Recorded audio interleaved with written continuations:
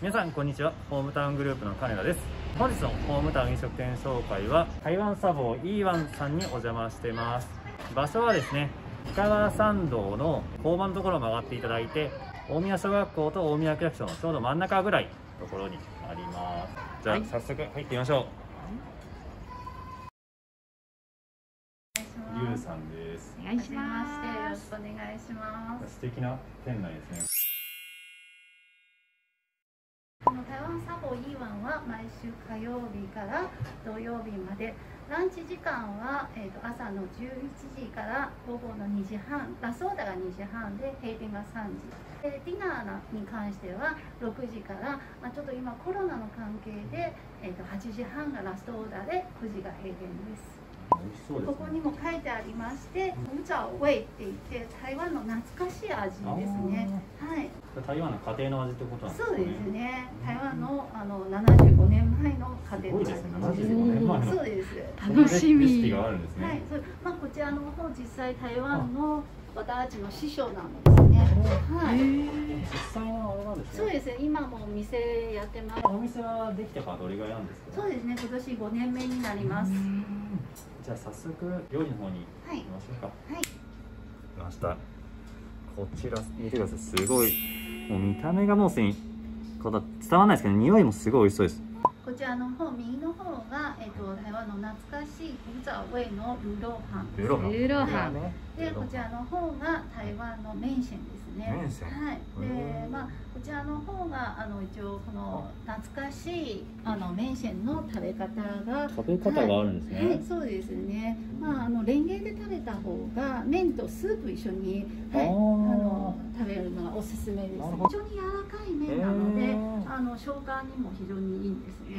はい。あすごいとろみがそうですね。ありますねあ、あのパクチーとニンニクと豆板醤ですね。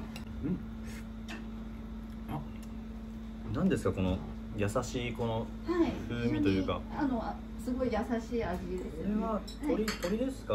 あ豚です、ね。豚ですか？全然違いますね、は 僕豚の一番、あの大きい骨を使ってまずスープベースのスープあとはあの玉ねぎですね。あを一緒に煮込んで玉ねぎ。あだしに最後そうですね。す。で最後に鰹節。豚骨スープだそうなんですね。でもそんなにねあれなんですよ。本当にあっさりしててすごいなんだろう。本当に優しい。私たち台湾の人にとってはこの麺線はもう本当に朝ごはんお昼おやつあの夜とか和食であの食べられてる本当にねのなのあれですねで定番のというか、そうですね定番ですね。これ麺もあれですよね。通常の麺と違うというか、はい、あの台湾からあの灯油で輸入してます。すごいじゃあ本当に本場の麺なんですねそうですね。はい。嬉しいのはカロリーが非常にふ低いんです。へえそれもいいですねやっぱ女性はね確かにで中にもつが入ってますので。もつがそうですねもつも入ってますね、もつ柔らかい ありがとうございます。これはでも美味しいです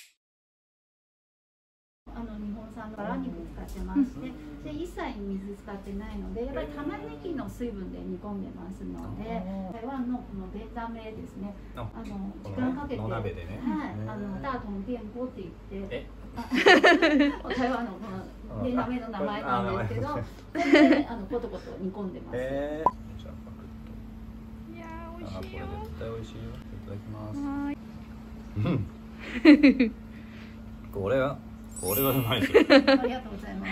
表情でわかりますこのやっぱ上のこのお肉がすごいトロトロなんですねこれ、はい、そうですね。このね米にこう染みてるんですよこの肉から出る油とねこのお米が混じってこれはうん本当に美味しそう美味しそう。本当美味しいですこれ、ありがとうございうんま、スープがハーフハーフなんですねはい、そうです。ハーフハーフで。一杯はちょっと大きすぎちゃうっていうかあのこのハーフサイズがあるとありがたいですよね。そうですねはい。うん。すごい香りがいいいいセットです。これは間違いない。間違いない。これは間違いない。本当おすすめです。はい。ぜひ。ありがとうございました。いやありがとうございます。とても美味しかったです。ありがとうございます。ぜひですね、あのこの日本一番さ長い参道の氷川神参参道と、あとあの氷川神社と、あとあの台湾サボにぜひ遊びに来てください。はいはいありがとうございます。ぜひね、この大宮でこの台湾の屋台の雰囲気を味わえる店、皆さんぜひ一度お越しください。それではですね、本日のホームタウン飲食店紹介はこれにて終了となります。ぜひまた次回お楽しみにはい